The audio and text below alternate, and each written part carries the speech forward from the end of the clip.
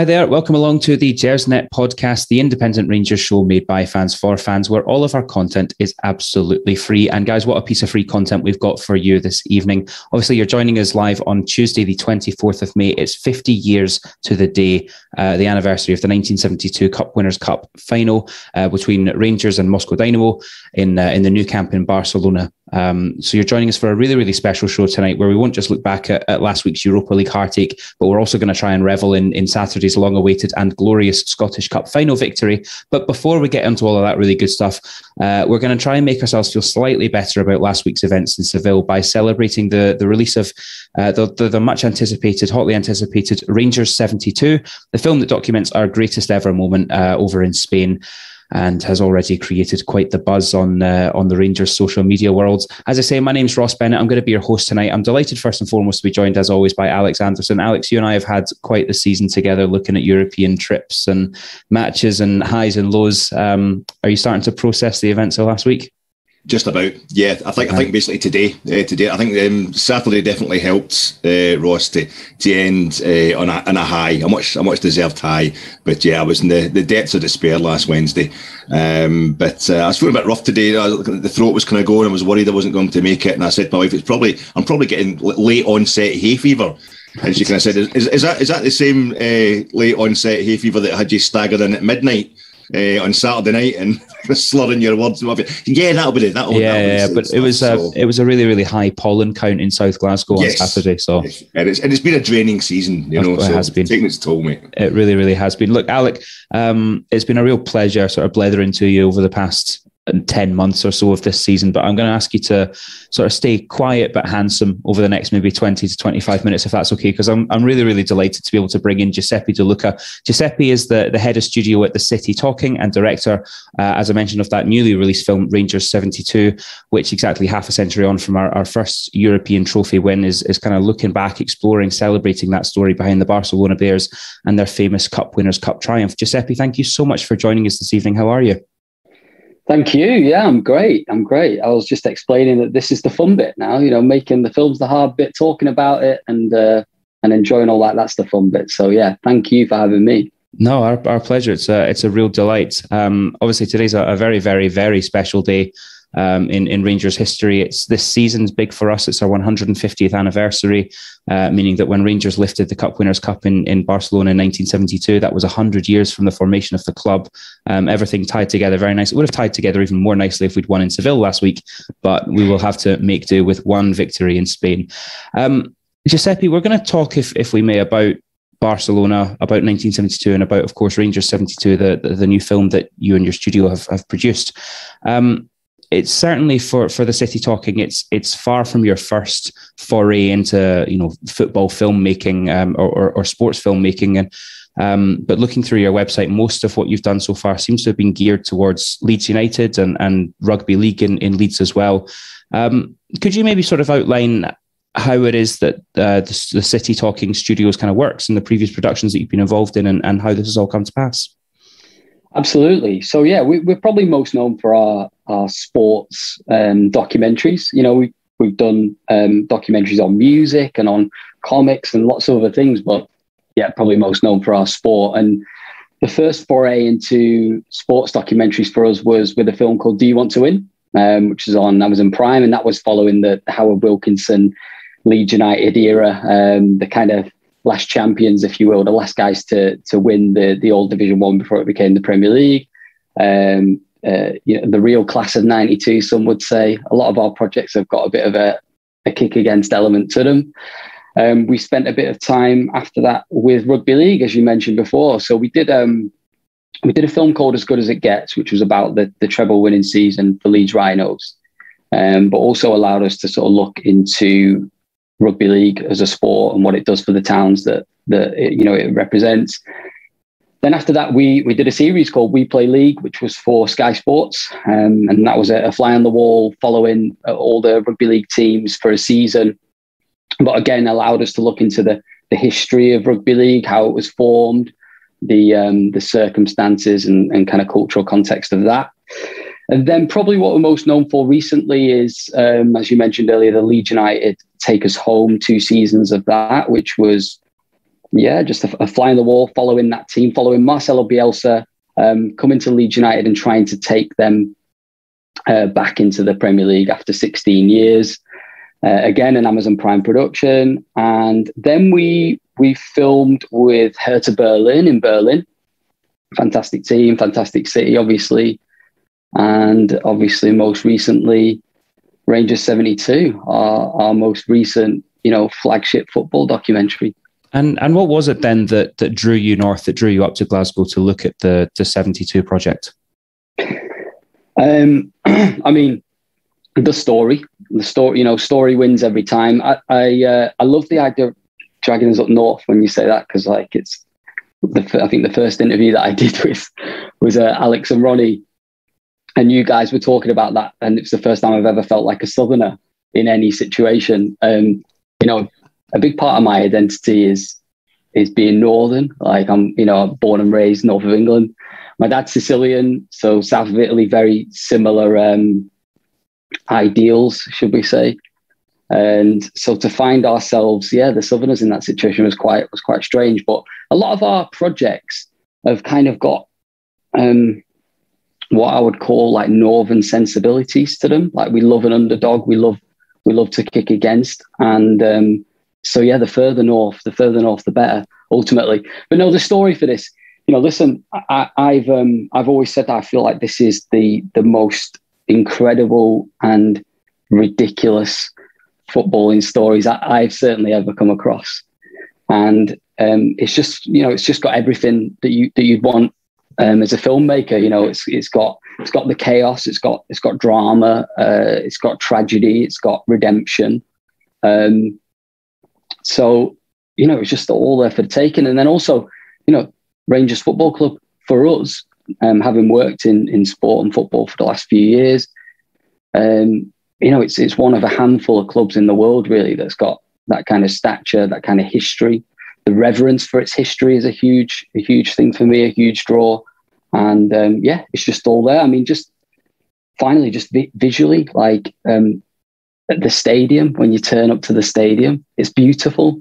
The the the the marble stairway, the the manager's office, the trophy room. You know, it's a gift visually, and and it lends itself to film uh, so much. And you know, as does the city of Glasgow. And um, yeah, I could go on for hours. Let's not, but um, yeah, it, it was just a, a real, a real. We have to do this.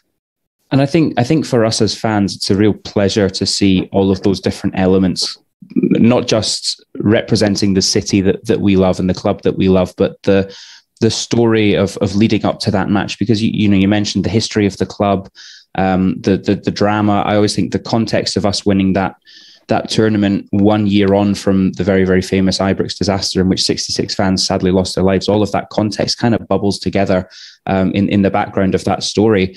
Um, recently, the, the, the film Ranger 72 had, you had your premiere of the movie in Glasgow.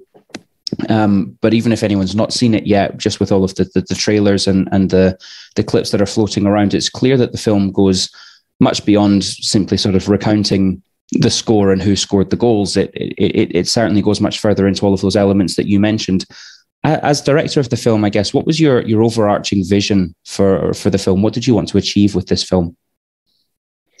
Um, you know, I think it's I think it's slightly linked to to our journey as a studio. Really, like the the last couple of years, last few years, we've been sort of on a on a mission. I mean, I certainly personally have, and I know uh, Lee, who founded the company, and um, Stacey and Shanting, we, we we've been on a on a mission really to sort of capture the beauty and uh, I always talk about the transcendent nature of football, and uh, everyone has a go at me for, for for always going on about that. But but you know, why is football important? What can it do for people? What can it do for cities? Um, and trying to get to the nub of that. And and I feel like we sort of felt like we'd done it a bit with Leeds. I, I think it's um, you know, it's always weird to talk about your own work, but I think it's safe to say that it's it, that stands out in in the tone of it. You know, it's a it's a beautiful look at football. So, you know, I thought we, I think we felt like we'd done that. We'd sort of put it to bed, and then you see a story like this, and um, and it just it's got all of the elements to be able to answer a lot of those questions that we posed ourselves. So, So the overarching vision was to essentially take this story and use it as the ultimate. Here's the ultimate example of what football can do. Here's the ultimate example of how football can can can change a city, can can give hope, can uh, transform a club, can, can transform people. Um, it just felt like the yeah the ultimate example of how you could do that. Um, then you know just really quickly on the players as well because you can have an overarching vision and and and certainly you have to define that at the beginning but you should also be really open to that changing and you know I, I was really you know, obviously blessed to, to be able to speak to all these guys. And one of the things that came out of it was the way that they were looking back on their lives and looking back on what they'd achieved. And that, and that really brought another element to the film, really. It was like, of course, football is the driver here, but like, you know, what, what is success? How do you want to be remembered? What's your legacy? Uh, what are those moments in life that come, come along and do you, do you take them? Do you capture them? You know? Um, so yeah, that, that was loosely it, I think. It's it's it's interesting that you mentioned the players there because uh, this is we're talking about 90 minutes of football 50 years ago, and yet those players have, in, in my opinion, left a legacy throughout the, the city and the country. Um, I'm I'm 30 years old, so this game took place 20 years before I was born, and yet most passionate Rangers fans of my generation can name you that starting 11, and and you and your crew had the, the, the privilege, I suppose, of interviewing members of that team who who won the trophy that night. What was the the sense that you got from them about that legacy? Do you feel that that the players feel that their achievement was kind of sufficiently respected, that the legacy was was strong enough for what they achieved?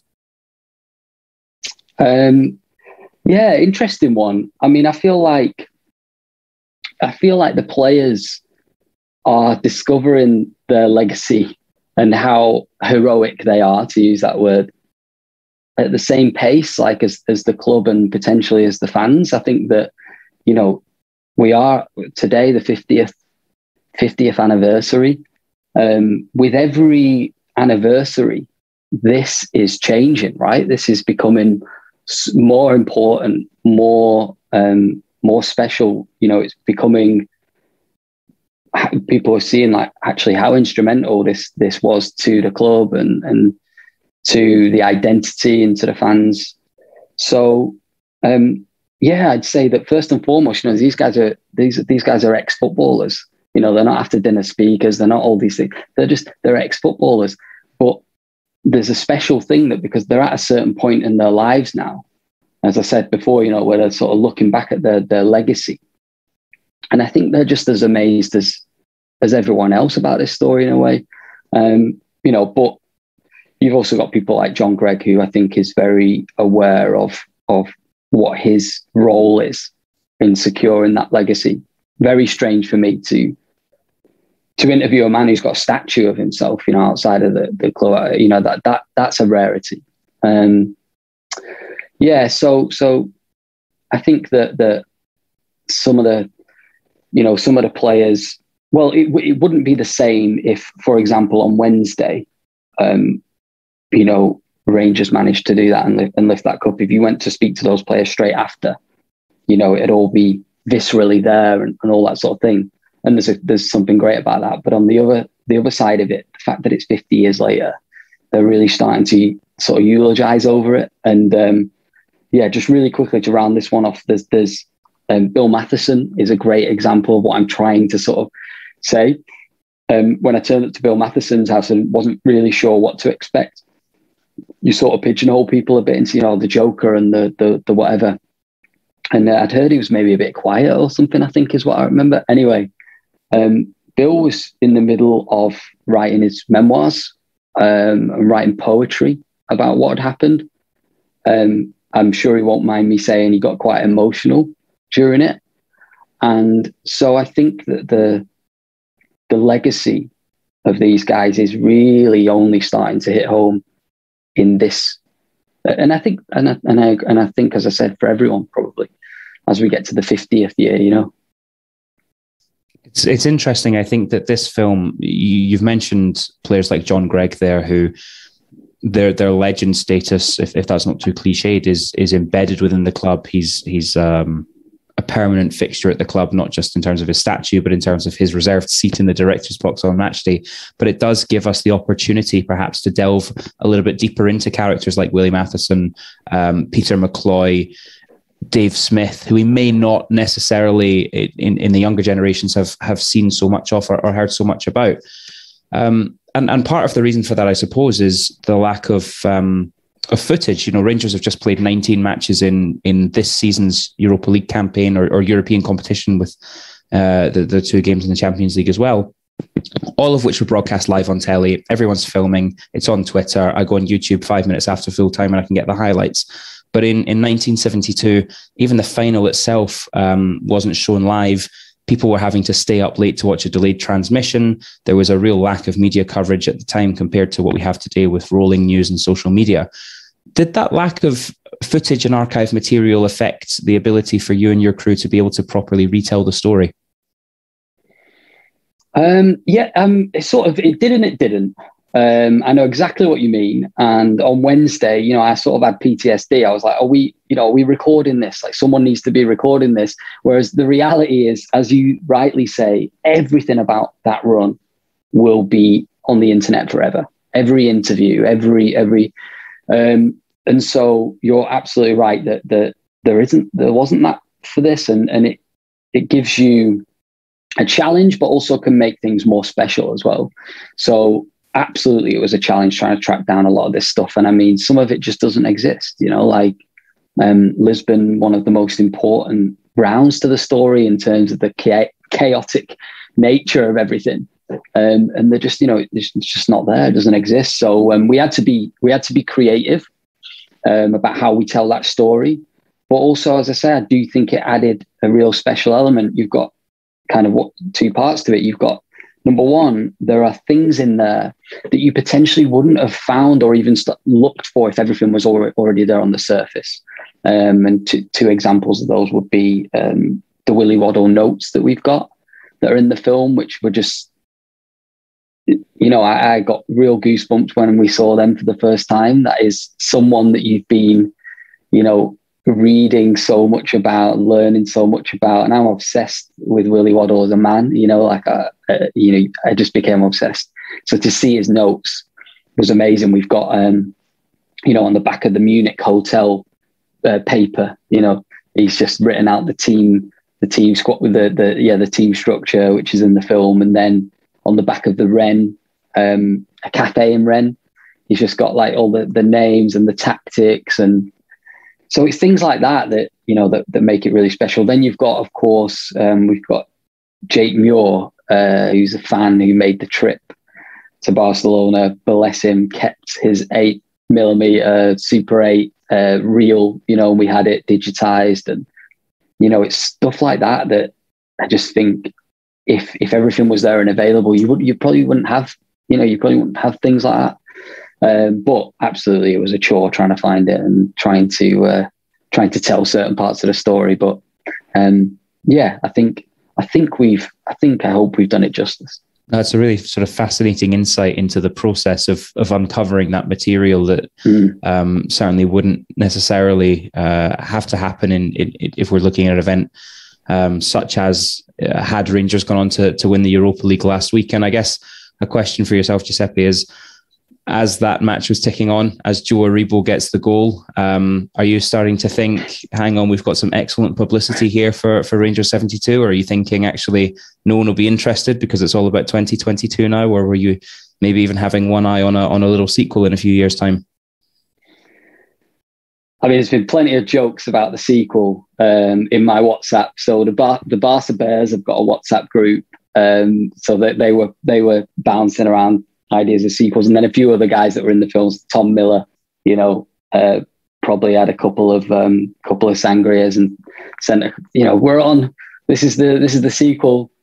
Um, we were, I think I mentioned earlier, maybe it was before we came online. I was as nervous, I think, as any as any fan. It's incredible how invested you can become when you when you go searching for the heart of a club. You know, like it, it it's just um, yeah, we we we we were dying for for Rangers to do it. I mean, it would have been obviously it would have been amazing for the film, but just for it would have just been freaky as well, you know, like on the 50, it just the whole thing. Um, and then, you know, we spent time with um, Kemar Roofe. You know, we spent a year with Kemar while he was at Leeds United. So that, you know, even without this, there's like a, a, a we probably would have been watching, rooting for Kemar. Um, so no, it was, yeah, we, we were dying for, dying for it to happen. And, um, you know, I must admit, on I think it was the Monday afternoon, I'm starting to see all the WhatsApps coming through, and it's real. You know, like everyone's there, and I'm, and I'm starting to look at the drive time to Seville. You know, how can we do this thing? You know, so um, so no, it was that we only wanted one result that night for sure. I think we all did, and we came so close, so close. Um, but look, more seriously, I guess on on that point, what is your hope for the film in terms of a reception with with a younger fan base? I mean, as as we sort of have this conversation, um, I don't think any of us on this call uh, are, are, old enough to either have experienced that game or remember anything of it. Um, certainly, even Rangers supporters in their early fifties don't necessarily remember the game or the day itself. Uh, the, do you hope, especially after the events of, of last week, that this film gives us another way to celebrate our club lifting a European trophy when we were unable to do so um, a second time around? Absolutely. I mean, you know, as I said earlier, you guys have got one of the most incredible uh, stories in, in in football history, and I think that the fact that it happened in the seventies as well, it's like, you know, it's almost like the previous dynasty, and um, uh, absolutely, and and the sh- for the young fans, um, you know, this is this is showing them this is much more than just a, a song that's sung on the terraces. You know, this is this is I remember when I was writing the sort of um, the sort of pitch document in a way, like the kind of uh, the, the, initial briefing. I started it off with a sentence that was um, something along the lines of, "To know where you're going, you've got to know where you've been. This is the forgotten story of football at its most potent, most relevant, most beautiful." I forget the actual line, and and the the idea for that at the time was a much more overarching thing of like, um, uh, you know to, for us to know where we're going in modern football, we've got to know about the most beautiful, the most uh, incredible stories from its history. And as time, as as as as the guys were going through the various rounds in this most recent cup run, that then started to be much more about um, the Rangers fans now and the, and the club now. To know where you're going, you've got to know where you've been. You know, you've got to you got to understand what it takes to lift a trophy like that, um, what goes into it, you know, what, what these guys did, what the context at the time was. Um, so absolutely, there's something in it for the for the young Rangers fans, and I think that they will be very proud that, that, that, there's a story there that they absolutely, like you say, will know the names of the legends and everything. But will they know what these guys look like in their homes as you know, seventy odd year olds going to the pub like we did with with Willie Johnston, and um, you know, and then for young football fans, you know that this is absolutely a, a, film for Rangers fans, but this is a film for a global audience. That's what I set out to do, and that's what we always set out to do. Um, and for young football fans, you know, this is this is about you know football is a gift. I always say it's the greatest theatre. Um, it, it, it teaches you about your identity. It's about you know friendships and and you know for men and men, the mental health kind of aspect and community and all these sorts of things so you've got to make sure that you know you protect those things and the, and the way you protect it is you understand its core and and its values. And you make sure that you know as football changes you know the ongoing capitalization of, of everything as, as football changes you've got to make sure that what that we don't lose what makes it special. And how we do that is telling stories like this, you know, telling stories that are special, um, that that do talk to that core and the sensibility of of what it is, and um, and for younger fans to understand that and to to tr- to try to in the noise of it all, not lose that, you know. Yeah, absolutely. I think it's I think it's crucially important. I um uh, you sort of referenced there the the, the growing commodification and, and, capitalization of football. That to me screams a growing gulf between Scottish football and and the big five, the big six leagues in in Europe. And that maybe our diminishing chances of of repeating Barcelona in 1972. Um, I, that, my fears of that are are diminished somewhat after last week, of course. But I think that it is important, therefore, to tell that story to make sure that the next generation of Rangers fans and football fans um, understand that story because there's a, I, I feel that there's a real um, issue with with people looking down on clubs like Rangers because of the the national context in which we play. Um, but to actually tell the story of how this happened and and and what we were able to achieve, um, I think it's it's crucially important. So I guess that actually the most important question I can ask you tonight is, how do we get our hands on it? Where can people you know grab a copy of the film um, but of course it's not just it's not just the the, the film itself there's um the, there's the book there's the artwork so where can where can people get hold of it yeah, I mean, I would have loved to have um, come on here and talked about our, our, digital release, which we've said, you know, is going to happen, but unfortunately, our lips are sealed on that one. We, you know, we will have a date and, and a digital partner soon, um, but as you rightly said, the, the the DVD and the and the products, you know, what the idea was that you've got a first wave. You know, if you if you want to see this thing first, you know, the only way to do it is through a physical a physical copy, which I think is really important. And and in that, we've created a whole world of products. And you know, I'm in a privileged position that I just have to concentrate on the film. So when I saw the book, which we've got, you know, I was like a fan seeing that. I couldn't believe it. It's really, really a great piece. So yeah, we've got um, the DVDs, the Blu-rays. Um, we've got a book. We've got some fantastic artwork. So Peter O'Toole, who who did the illustrations of the players that I'm sure you've seen as the, the film poster, has done different posters, uh, which are incredible.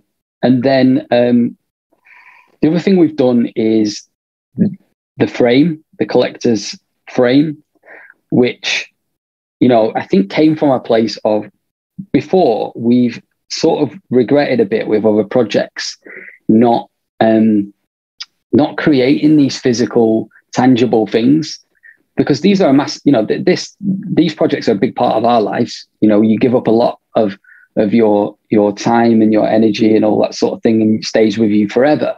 And so you you want to have those little memories and mementos. And i feel like um, in the streaming age we've said to ourselves you know it's up there. We don't like we can't you know we can't see it we can't think. And uh, lee who who founded the company who's the exec producer on this for his birthday I got him um, a frame of of some something to do with Take Us Home. I won't go into what it was, and and it was a really like nice piece. That he liked. I really I really enjoyed uh, you know coming up with that, and it was that, and we were like, we've got to you know have something similar that you can that that is is defines the world of this project. And the one thing we kept coming back to was the pennant you know, obsessing over the pennant in the trophy room. It's incredible, and so we we've redesigned. Uh, we you know we've re- remade the pennant. Um, you've got Peter O'Toole's illustration on there. There's a you get a unique message, and the players have signed the pennant. Um, so there's 500 of those. I think they're super rare. Not even I'm allowed one. So um, they are yeah. And then the book, you know, it's the story of the of of the story, but it's also of how we made the film and some of the choices that we made. And as I say, like I, I was able to kind of see that as a as a fan in a way. And um, uh, Shanting, who's our creative director, and Lee really ran away with that book, and it's a beautiful, beautiful piece that, that certainly I'll keep. So yeah, there's there's plenty on there. Go to rangers72.com and you can you can get first look at the film and you can um, you know, have a look at these products and then keep your eye on socials because we will be announcing the the digital way to watch this film.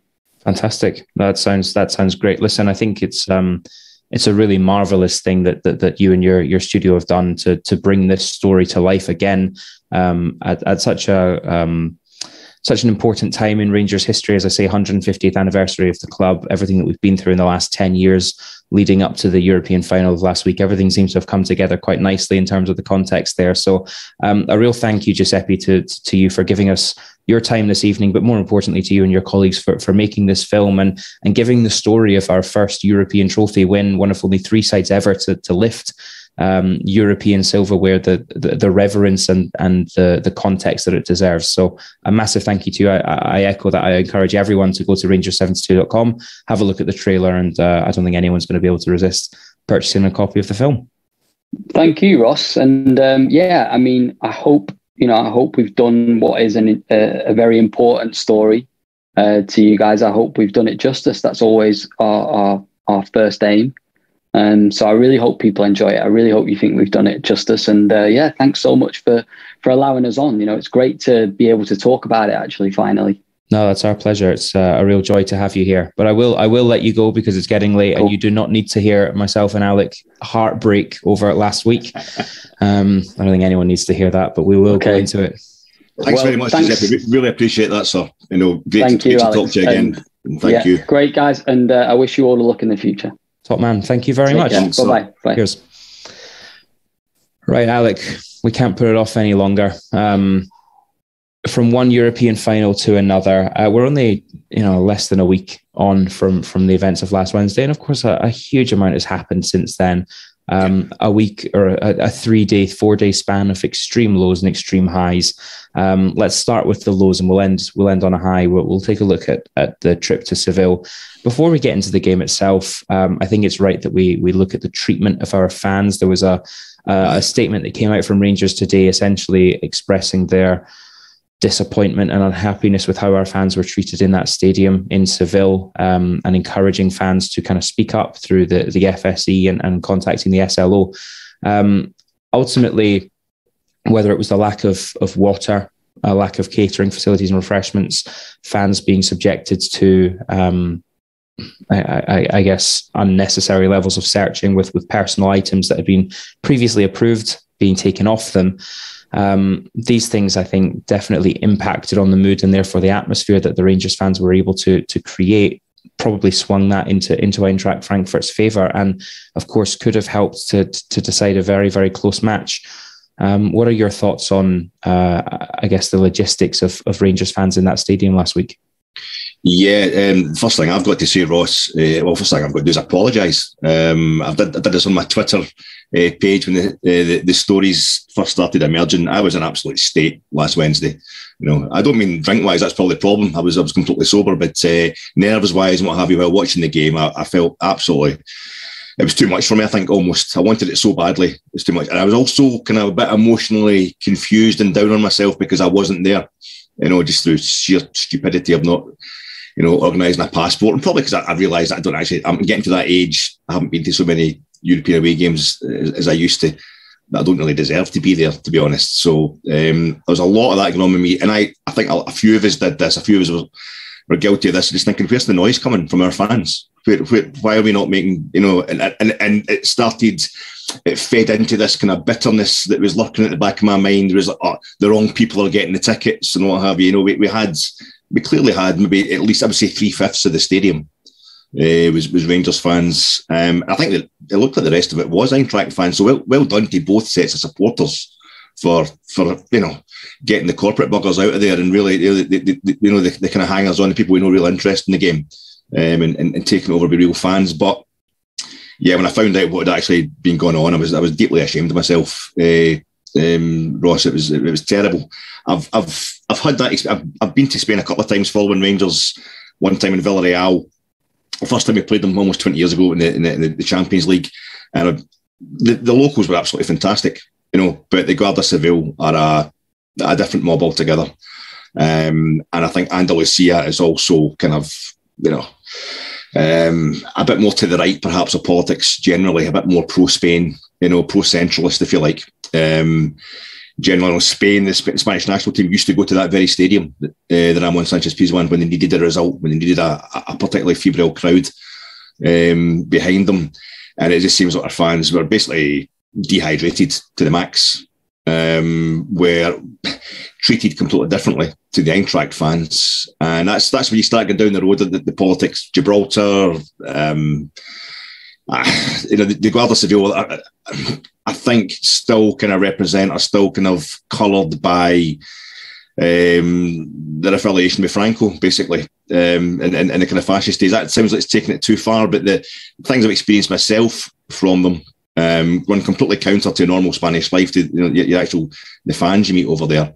But uh, yeah, it seems like so the, the Eintracht fans were allowed their pyros in, they were allowed their uh, tifos, they all had their flags on them. Rangers fans were getting insulin, diabetic Rangers fans were getting insulin taken off them. They were getting the phone chargers taken off them.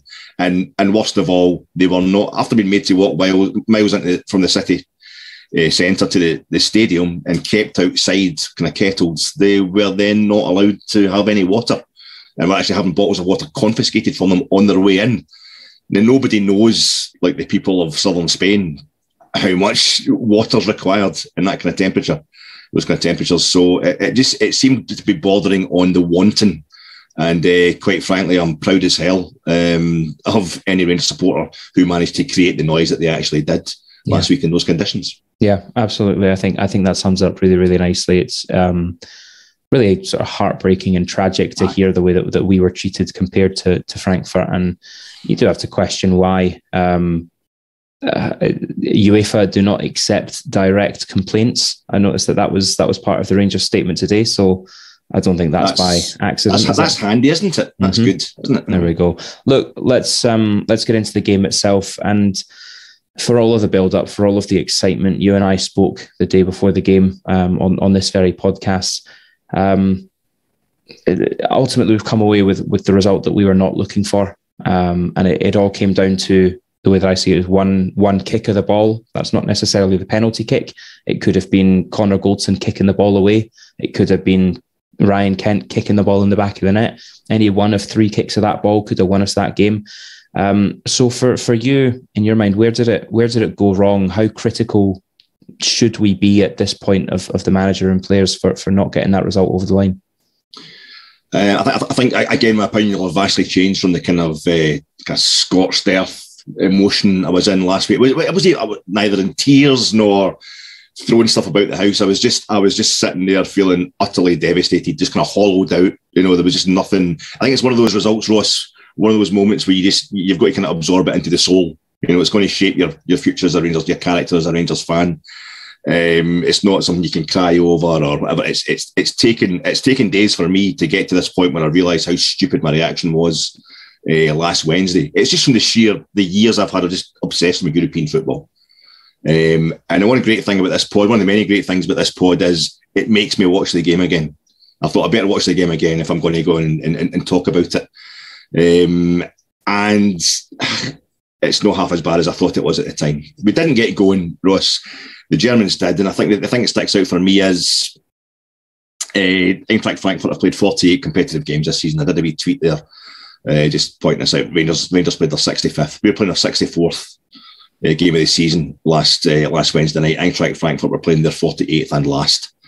Um, they we were speaking last Tuesday in the preview pod about how we shouldn't look at the Bundesliga form as as encouragement for Rangers. We should look at it as why Eintracht will probably have as much energy, if not more, than us.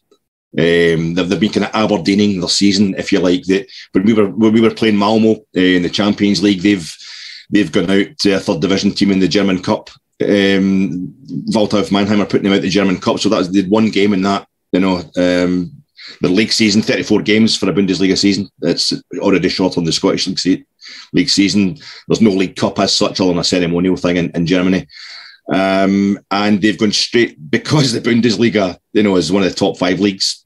You know, despite their European, their presence in European football being, you know, half, not even half, not even a quarter of Rangers uh, over the years, they walked straight into the group stages by finishing fifth in last year's Bundesliga. So they didn't play any qualifiers or playoffs.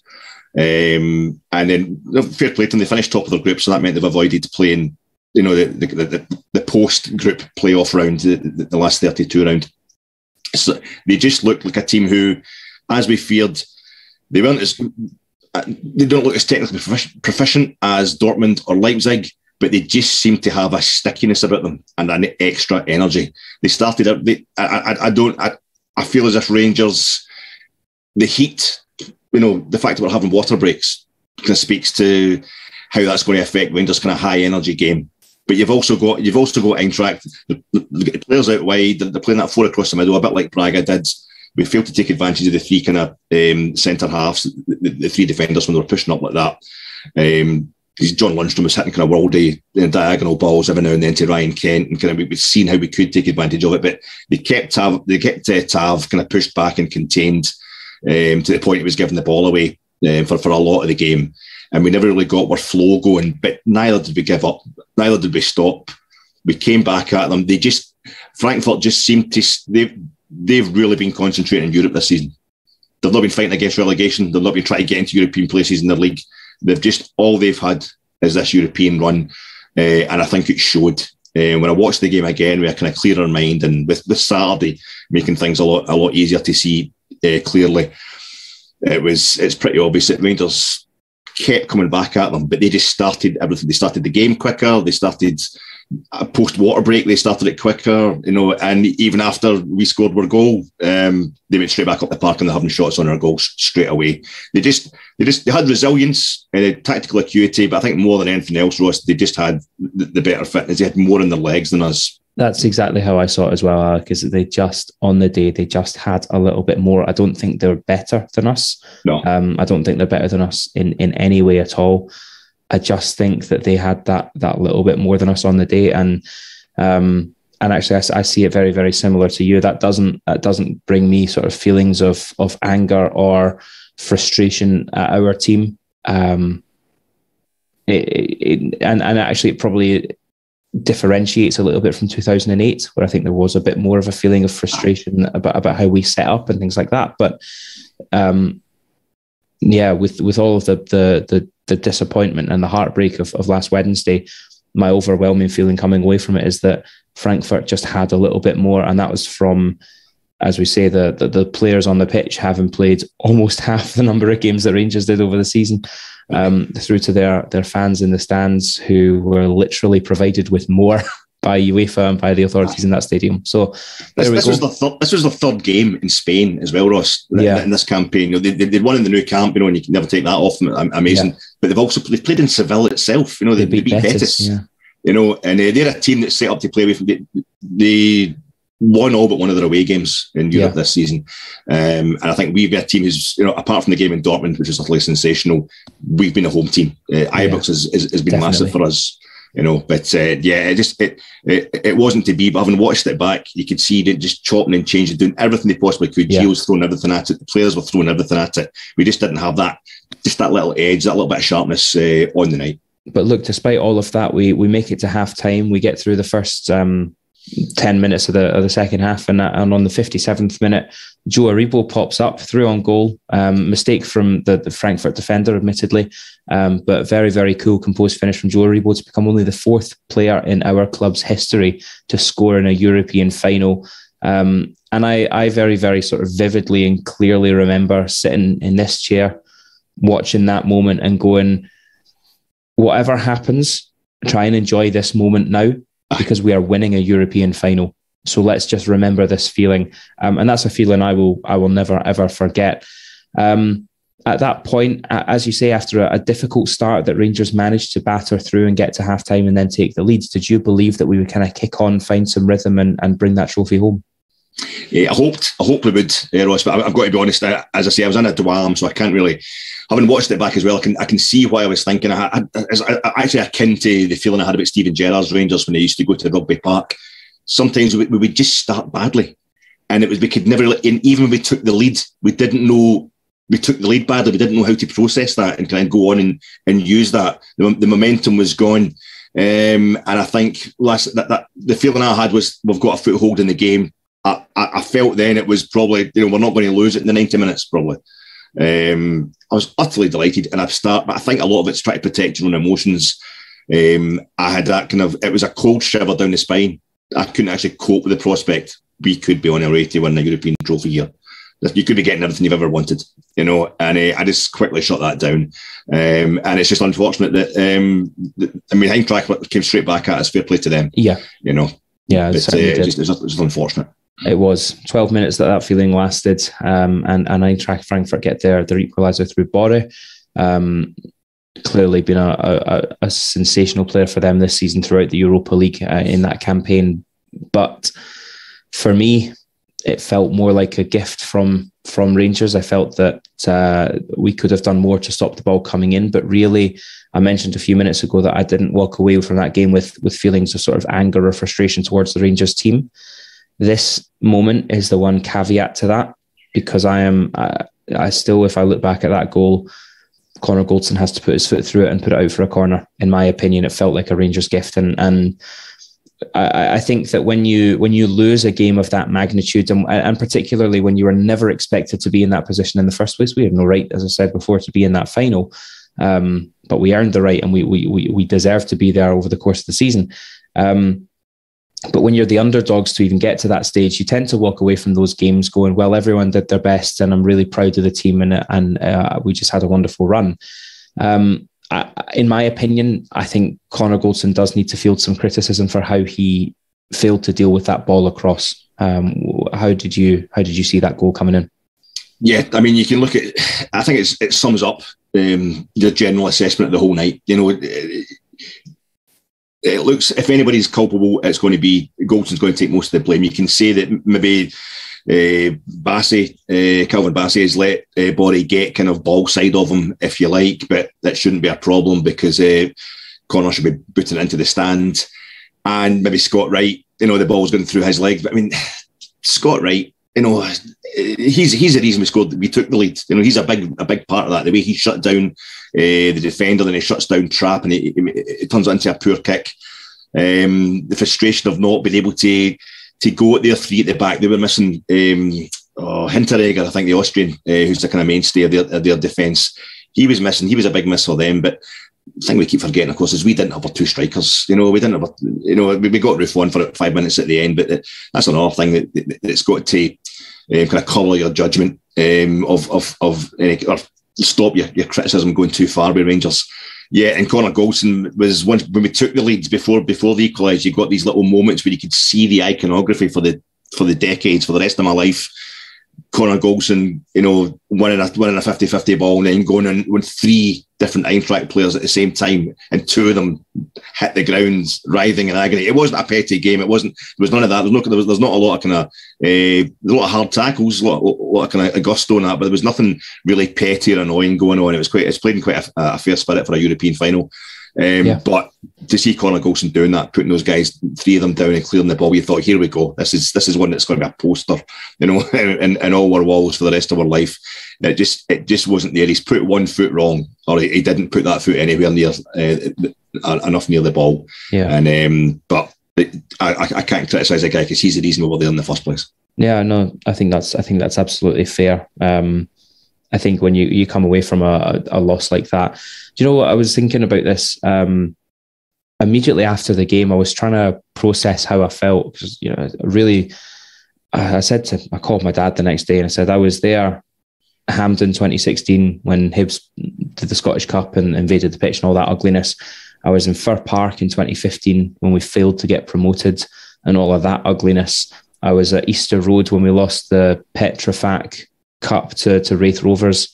Um, and those were all really, really low, hollow feelings. But losing that Europa final on, on, on penalties was just as hollow and just as low, if not even more so. Um, and you do, I think you do have to try and find ways of rationalizing how that happened. And it felt to me, I said to my dad, it feels like I've been dumped.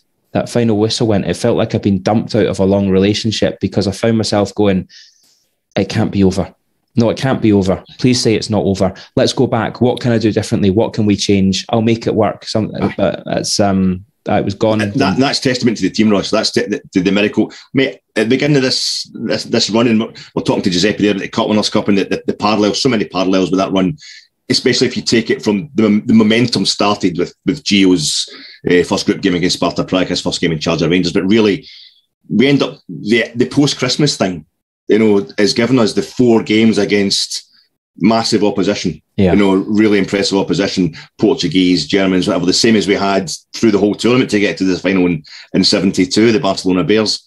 Um, and you think my first stop with most of those games was don't get hammered. Yeah. Just don't get humiliated, Rangers.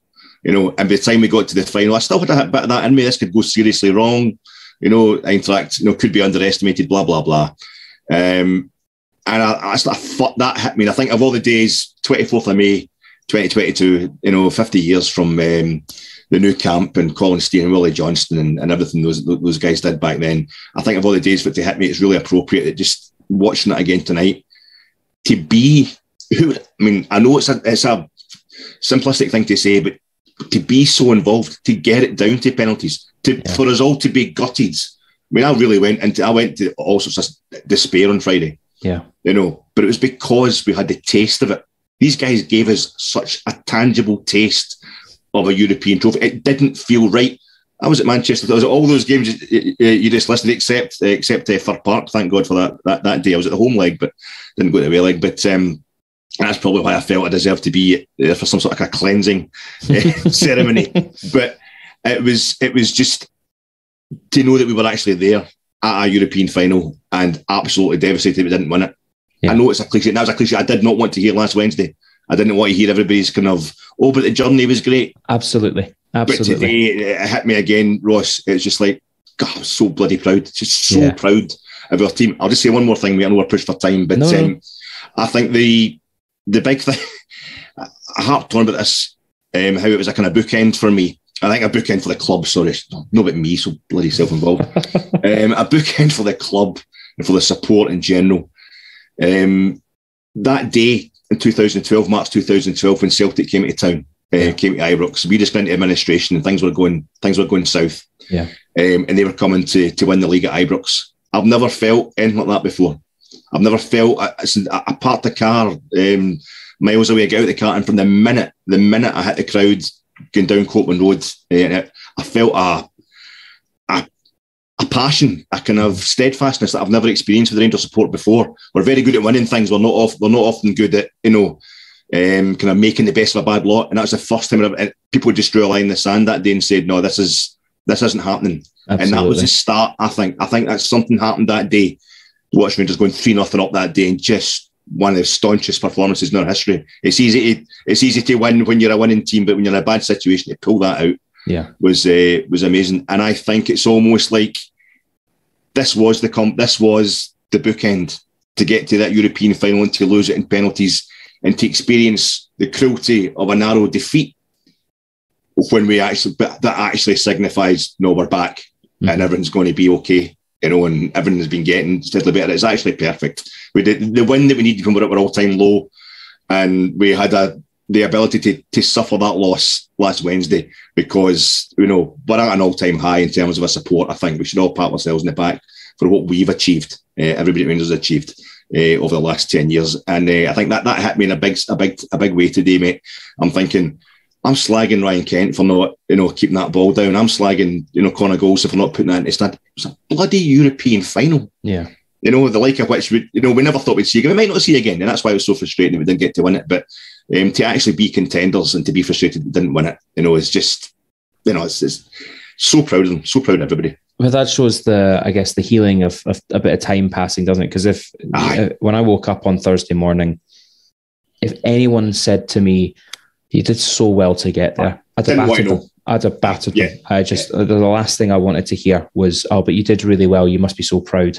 I mean, of course, of course, that's true, and of course, that's rational. But this is not a rational game. This is not yeah, a rational. You team. don't want to hear that straight away. You need no. to absorb it, you know. And I think we're also used to hearing it from across the road. You yeah. know how they, you don't want to be that kind of fan who your defeat means more than somebody else's loss. You want to be sporting about things. Exactly. Um, but I think it, it's it's taken a few days to kick in. It's not sentimental. It's not. We're not trying to alter the result. We're saying Eintracht definitely deserve to win on yeah, the night. Yeah, yeah, certainly. Um, We're just saying. argue that. Yeah. What a monumental achievement it, it, it's been by Rangers, and yeah Alec of last Wednesday would have punched Alec of just now for saying this. But what a bloody journey, mate! What yeah. a bloody journey! What a journey! What a ride! It's been a, a, a true, a true joy, a true pleasure, um, and a, an absolute joy to get to speak to you, previewing all of those different ties and, and looking at it as a real, a real delight mate. for me. It's been great fun. It has been. Look, let's um, let's end this on a high because yep. only three days after losing that cup final, Rangers had another cup final to um, to contest.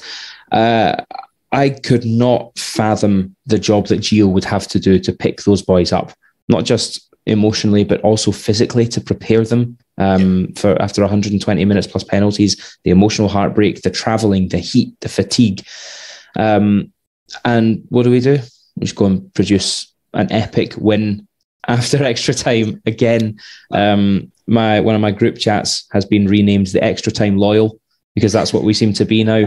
Um, a hugely draining match in Europe that goes to extra time in 35 plus degree heat. We take it to extra time at Hampden against Hearts. We we, we scored two goals in six minutes of that. Um, the first six minutes of extra time. Um, after 65 games this season, to go and finish the last two games playing two hours as opposed to an hour and a half, um, Rangers are clearly doping and cheating. Um, yes. So, in your expert opinion, what drugs are they on? Yes, I, th- I think it's the uh, a heavy dose of uh, the Arno Phillips uh, caffeine. You know, yeah. um, well, Barcelona, you know, 1972, 50 years ago tonight. Uh, Jock Wallace, Murder Hill.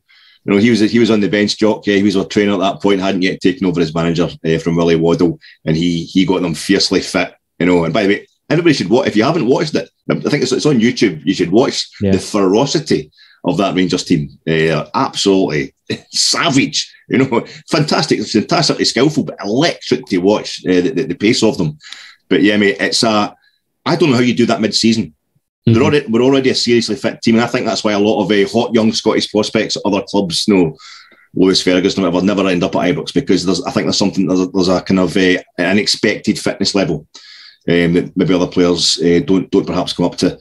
Um, I to do it mid-season, maybe it's as much by resting players, um, not train, overtraining them in between games. You know, when you've got so many games, but we've definitely come on. I think a lot of it is in the head, a lot of it's in the, the attitude as well. Um, because the thing I noticed, even even in Seville, even in that heat, even with everything that was happening, going to extra time to towards penalties, we finished the game as we all know. You know, so much the stronger. Eintracht were still hitting us in the break really dangerously, but even in that, we kept coming back. It's not like we start fast then fade as you would expect of an unfit team. Um, and I think that's one of the things we'll talk about 2008 and how it didn't really get going in 2008. There wasn't a lot, a great optimism. There was optimism about beating Zenit St. Petersburg in the 2008 UEFA Cup final. Um, but I remember by the time we got to the Scottish Cup final that season, I just thought it'd be unfair on this Rangers team uh, to finish this season by losing the cup. We'd already won the League Cup, but to, to yeah, lose the, you know, and when Queen of the South come back to equalise from 2 0 down to make it 2 each, I just, I was like, this isn't fair. You know, and I hate that concept. Nothing, nothing in football's fair. I thought this, this team don't deserve this, and it was a relief that day that we, we, we pulled it out of the bag. Know, we, we got the win on that game. But I think on Saturday there, it was more like a celebration, and the way the, the team did it again, it was almost like ah, sod it. Let's not because we were pounding hearts towards the end of that game. But it's like, yeah. let's not bother. Let's not bother getting the goal just now. Let's hang on a minute or two. Yeah. not until it goes into extra time, just to show that we can do this again. Be stronger and stronger as the game goes on. My nerves were through the floor, man. I, I, it was it was horrendous. Well, talk to me about those nerves then, because with the season that we've had, um, I agree with you. The, the, the, thing that I kept saying to, to, to my family around me at that uh, at the game was the players deserve to win something this season. They deserve it. But as you say, football's not about what you deserve, it's about what you go and win. Yeah. Um, we dominated possession from, from I'd say from 15 to 20 minutes into the game. We, we dominated, we created all the chances and, and Hearts. Hearts were tired, Hearts were blowing. I thought that certain Hearts players were out of shape. Um, yeah. and, and that to me is unforgivable, but maybe that's Scottish football. But given that we failed to win a major cup for 11 years and that we have not had a good record at Hampden over the last decade or so, um, did you feel as we as we ticked over the 90th minute, or even as that corner was given to Hearts on the 89th yes. minute, the same corner that Hibs scored their winner in yes. 2016, did you fear the worst at those moments? That was sick. That was, was awful, wasn't it? it? and I think that, that's what happened. That's one of those moments where you think this is the comeback. This is us. We are back now.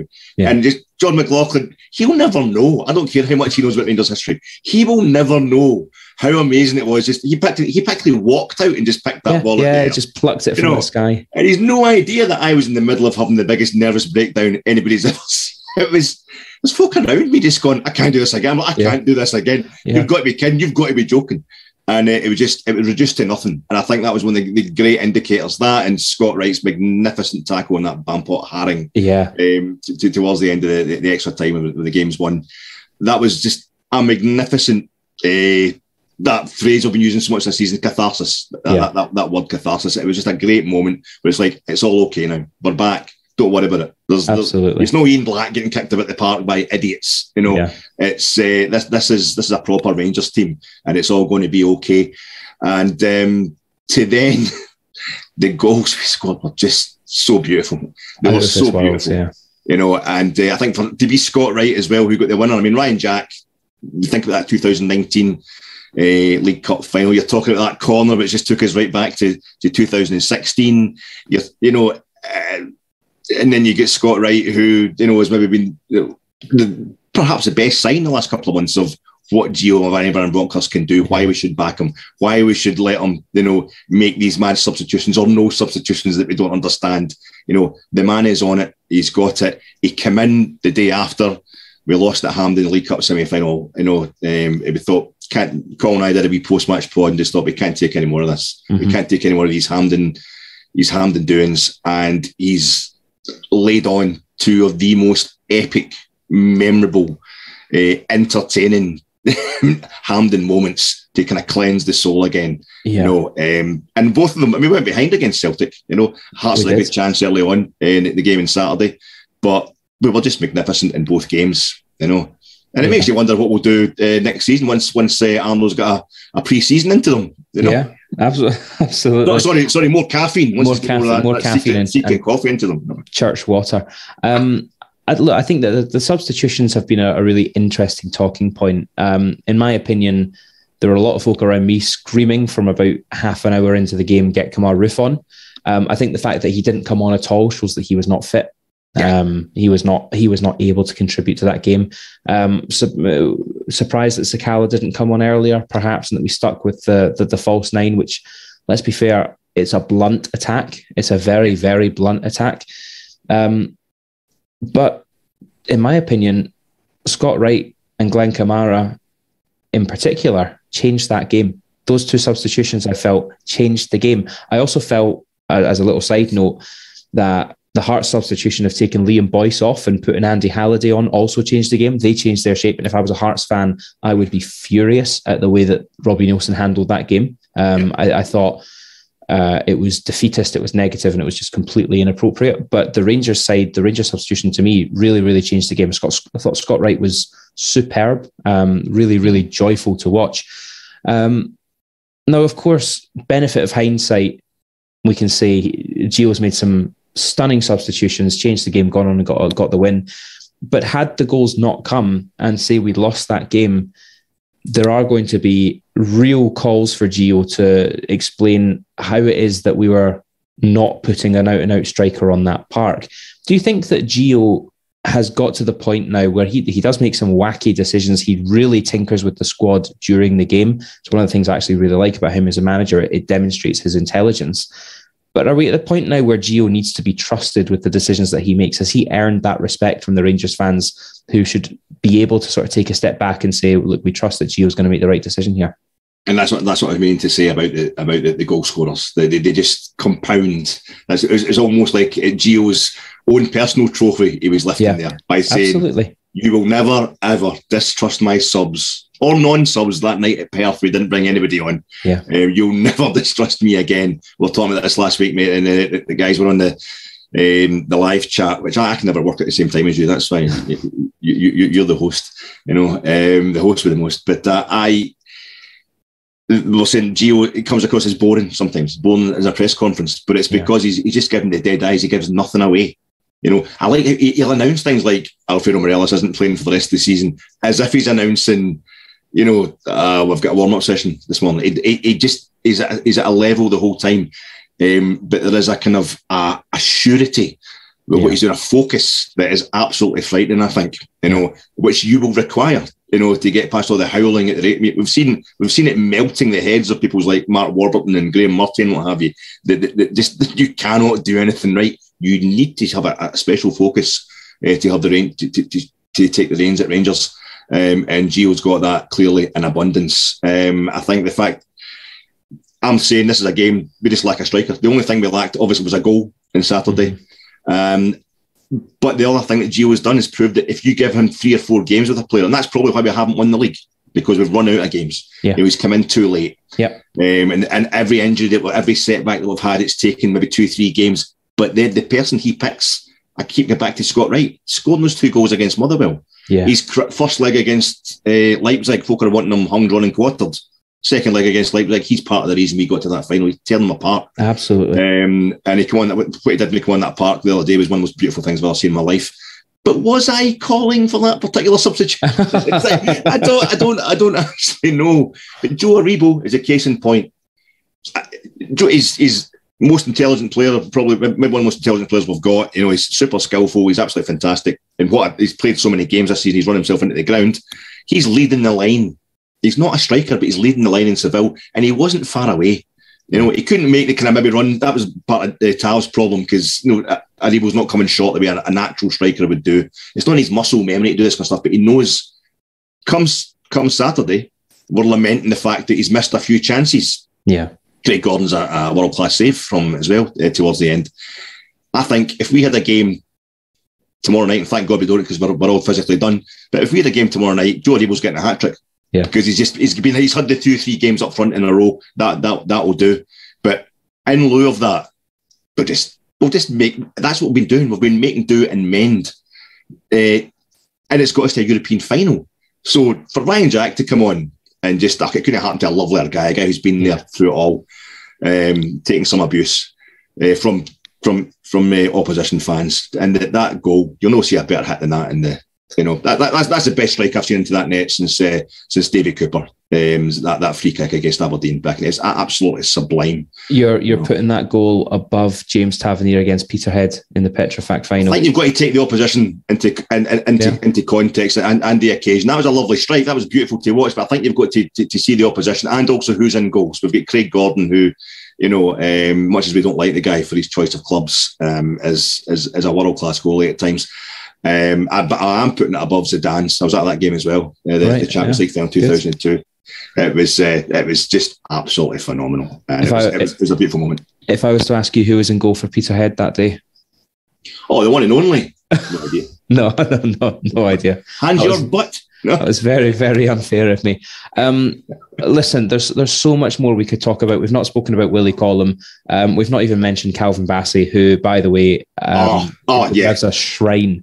Like, what's a guy? Oh. It's just I've I've never seen anything quite like the the way that he has endeared himself to the Rangers fans, probably particularly these last six months, um, from where he was 12, 18 months ago, going to a COVID breach sort of event looking like he was going to get bombed out of the club to, to where he is today. Um, I've had friends down here in, in, England who watched our final, uh, Europa League final, texting me saying, "This guy is is something special. I mean, something really, really special." Talking of special guys, special guys, Colin Armstrong. Colin, um, you weren't invited, but you're here. I wasn't invited, Ross. I'm going to ask why I wasn't invited, if I'm being honest. well, Colin, it's a delight to see you. How are you? Oh, I'm very well. Uh, I'm on to wish you all the best, Ross, uh, because uh, as as most people don't know, uh, this is your your last episode uh, presenting and being a host of the Gersnet podcast. It is. It is. Yes. It's caught me off guard. I still. had. This is your life. right. I, I, I, just wanted to come on and say, you know, you, uh, it was me and you to start with. Uh, yeah. We were the two original hosts, and it feels like a bit of a moment that you're leaving. And I'm genuinely sad to see you go. Uh, it's been a pleasure uh, doing the show with you over all these years. You know, we took it from nothing, really. I mean, a couple of hundred viewers and hits. I think Frankie was ready for binning it at one point, yeah. but uh, you know, we've dragged it up to something I think that's fairly credible now, and you know, we've expanded it. We've went live. We've got sort of pre-match, post-match, all that stuff. Uh, and you were very much part of that journey. And also, you're good for a free meal. You know, you're good at yes, you're good at putting your hand in your pocket and buying dinner. So I'll miss all that as well. That's but no, true. honestly, I will. I'll, I'll, I'll genuinely miss you, Ross. It's been an absolute joy. Oh, stop. Um, Ross, I'm just going. I'm going to echo that. I'm just a newbie compared to you guys. I only come in for the. I come in for 55 and then get into European final. I'm just a big time, you know, supporter. yeah. But uh, it's been an absolute uh, pleasure uh, working with you, Ross. Uh, you're different class, one of the cheekiest guys I've ever met in my life. But you're funny with it, and that's the main thing, you know. And um, the it's been absolutely brilliant doing these European previews with you. Um, and I think the thing that comes through, apart from your obvious intelligence and your your class as a host. I'm not going to say who's the best. I'm not getting into that. You know, I've been stuck in that before.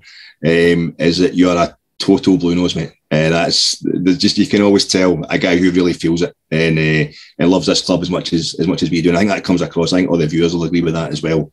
And uh, ah, you're gonna be. We'll have you back on, obviously. I hope as as a guest every now and then, mate. And uh, Colin and I will definitely dig you up for a pint every now and then. But going to miss you like hell, buddy. Oh, and sure. uh, all the very best. No, it's it's uh, that's very very kind of both of you. I really was not expecting. I was sort of thinking I would quietly slink off into the sunset, but um, look, it's been it's been four years. It's been a, a really really enjoyable four years. Um, I remember Frankie put a tweet out about four and a half years ago saying looking at exploring maybe doing a podcast and um, to be honest, the reason I got involved in this is because I don't live in Glasgow and I don't get to talk about Rangers every day. So I don't get to go into my work and speak about Rangers with with my colleagues and my friends. So um, it was an outlet, and and it's it has, as Colin says, it's really it's grown um, and could still grow, and, and there's so so much potential in in this kind of thing, and and we've got a really I think a really good group of core contributors to this show. But from from those early days, um, we didn't really know what we were doing. We didn't really know how to frame the show. Do you remember Colin doing Sevco Yeah. of the week? Right Yeah. back in the earliest days. Yeah, Um, it was it was pretty grim. It was pretty poor, wasn't it? um, and you that know, was your idea, though. wasn't it? that was my idea. your- it's a shocking idea. Absolutely appalling. Um, and we've got yeah, cameras on and live shows and pre-match, post-match previews, all the rest of it. Um, yeah, a huge amount, and uh, it's, it's it's been a real a real joy. So thanks, thanks, Colin, thanks, Alec, thanks all of the guests that we've had on. Um, David Wren, who who obviously put a huge shift in as well as a host. Um, but but also to, to Frankie for giving me a platform to to speak about Rangers, and I hope I never said anything too controversial. I was there was one one or two shows that I did where I was completely battered. Um, the the 55 winning show of last season, I was I was away, um, but it was a lot of fun. And uh, look, the only reason that I'm going is because I, I I work for a football club now, which means that I'm I'm working weekends, I'm working match days. I'm not going to see enough of the games. I don't think it's fair to to come on and try and talk about games that I've not seen. Um, but I'll, uh, look, if you'll have me back as a guest at some point, I'll I'll absolutely be here. So a massive thanks to everyone. Really, really, really enjoyed it. Really did. Yeah, well, good luck, mate. Thank you very much. Look, I'll wrap up the show, I suppose. Um, guys, it's been it's been a real pleasure. Not just tonight, not just this season. Absolutely love that sign. Um, it's been a real a real delight for for four years. I've really really enjoyed it. Thank you to everyone for, for all of your support, all of your kind messages. Have to shout out David Christie as well, by the way, who tweets us after every single show. Um, that's a real joy to read that every time. I, uh, I, I- I have to thank David Christie as well before we wrap up, Ross, because I put out a thing today. I'm I'm doing me and a few mates are doing a sponsored walk up the Myatt uh, for my mate Scott, who's been living with cancer for the best part of 20 years, and he, he got some good news recently. Uh, we've been trying to get him up a hill for ages, but because of his health, he, he didn't want to do it. Uh, so he, he, he got some good news a few weeks ago there, so he, he felt fit enough to go up the hill. So I, I started a Just Giving page today, and David Christie was one of the first names to to, to, to, to put his, his his his money in there. So a big thanks to David for that as well. Ah, some man, some man. Listen, it's it's quarter to eleven. We have rabbited on long enough. A really, really special show tonight. Um, I- I, I'd like to extend my thanks again to Giuseppe De Luca from the City Talking for for coming on and uh, and giving us all of that insight into the seventy two story. It's it's going to be a really remarkable piece of um, of film. So please do go and, and get hold of that if you haven't already done so. Thanks to Alec. Thanks for calling for the surprise as well. A real pleasure um, for me this evening. But but thanks as always to, to all of our listeners. Make sure you head over to the website at www.gersnet.co.uk. Like and subscribe the podcast wherever you get your podcast from. Uh, the show, I'm sure, will be back at some point in in the coming days and weeks to do a little bit of a, a proper season review and wrap up. Um, but until then, if I don't speak to you beforehand, have a wonderful summer. We'll see you next.